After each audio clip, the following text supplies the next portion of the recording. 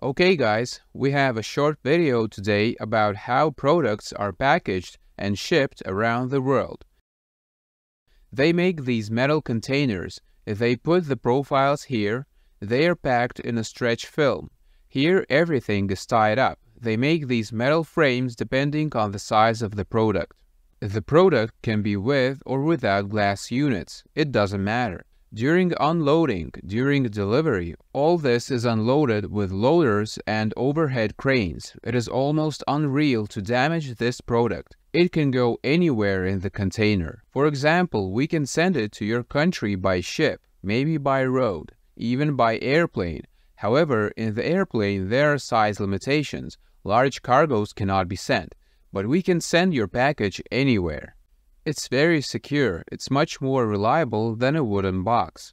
And the customer can even hand over this metal for scrap or weld something else out of it, some kind of product. So you see how well everything has been thought out in terms of packaging, so that the profiles reach the final user without being damaged or scratched.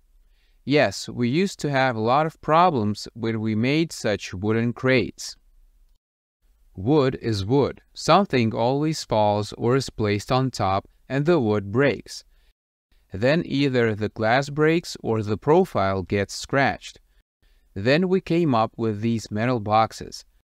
And the good thing is that other facilities can use this metal too. That's a big plus too. And it's more secure. Good packaging. We ship worldwide like this. They don't even dangle. We ship to the other side of the world like this. Everything is the same. Not once did we have a problem.